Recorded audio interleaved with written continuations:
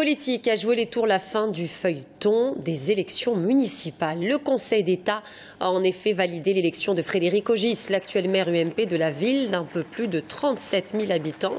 Souvenez-vous, le tribunal avait été saisi par quatre électeurs qui contestaient la validité du scrutin en raison du fameux tract de l'entre-deux-tours qui accusait la municipalité socialiste précédente de vouloir imposer la théorie du genre dans les écoles.